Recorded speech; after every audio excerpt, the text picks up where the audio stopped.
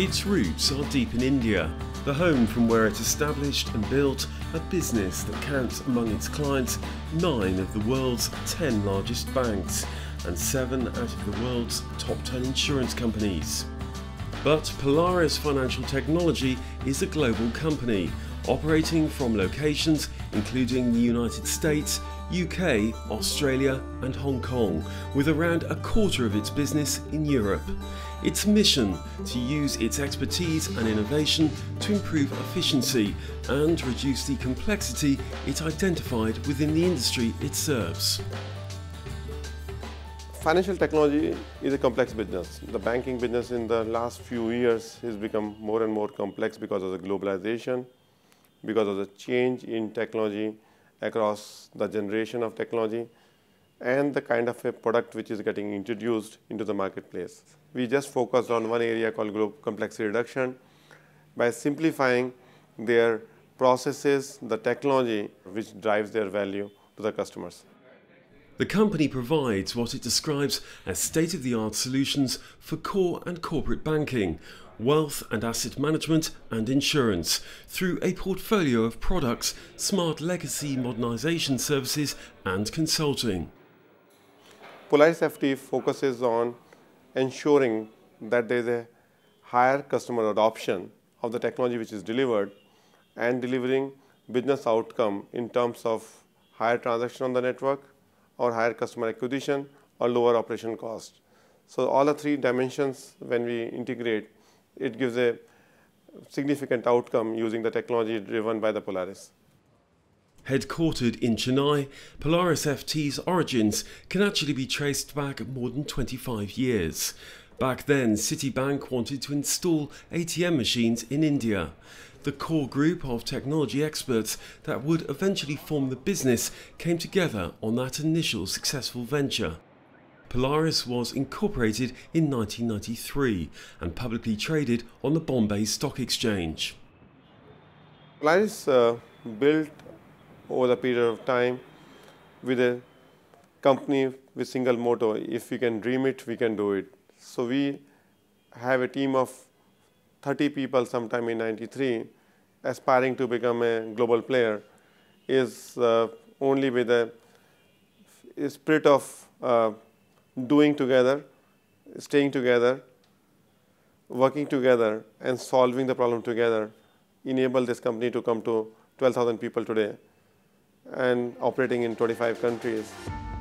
Polaris has sought to differentiate itself from a general perception of huge Indian technology companies to which a lot of technology business is outsourced.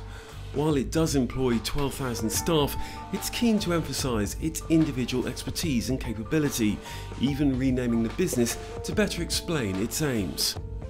On the advice of business advisors McKinsey, in 2002 it took over a subsidiary of Citibank, enabling it to own its own software. I think Polaris uh, as an organization has a very good culture in terms of allowing or permitting people to take risks and go into new areas. And that has been a significant uh, plus that I have observed over the last so many years. And we encourage them and we just don't allow them to, you know, uh, go there and fail, but we support them actively with the teams that are available here.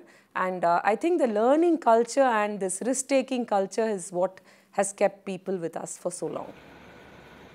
These are challenging times for the financial services industry, yet with its revenue up by 25%, Polaris has bucked the economic downturn.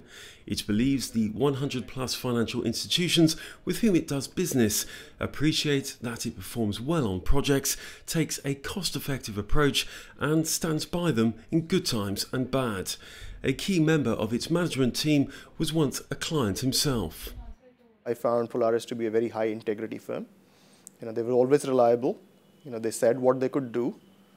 You know, and they were, when they couldn't, they were very straight up. So you could always trust them. They were very flexible. You know, they went out of their way to make sure that uh, you know our projects were successful, and that we as clients were successful. And I also found them very, very good in terms of domain knowledge and expertise of the insurance sector. Aware that a skilled workforce is key to its success going forward, Polaris has launched a financial technology teaching facility at Hyderabad in India to produce and certify more than a thousand of what it calls techno bankers every year. You can find innovation, you can find uh, out of the box thinking, intelligent people. So all these things makes it a perfect place to work. We are like a big family here. There is celebration, there is appreciation, there is sharing, there is trust. There is there are a lot of laugh. There is a lot of laughter and plus a shoulder to cry on sometimes. My career path has been chalked out very well in this organization. So future seems bright.